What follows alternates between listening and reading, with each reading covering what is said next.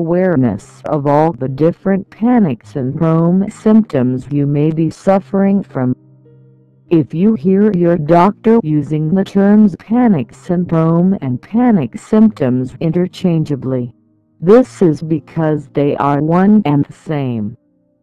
Panic syndrome symptoms are important because they indicate your need to see a physician as soon as possible. Many times, people wait until when the problem gets quite aggravated before seeing the doctor. Panic syndrome usually comes with or without agoraphobia.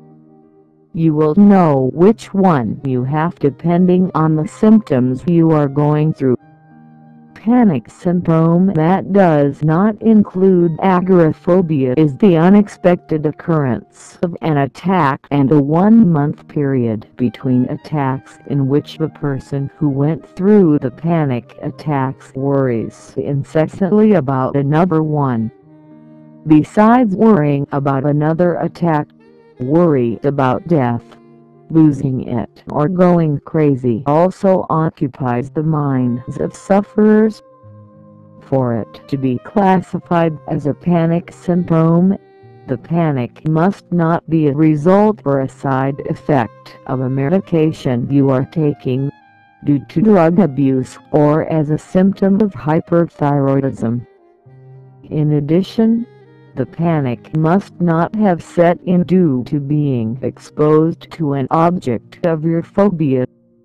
This means that if you were exposed to spiders and you have an existing spider phobia, this would not be classified as a panic attack but rather as a type of phobia. Agoraphobia is characterized by not being able to or wanting to leave your home because you are afraid that you will get a panic attack triggered by seeing new places. You also refuse to meet anyone new, hate traveling in your car, bus or train as well as passing on a bridge.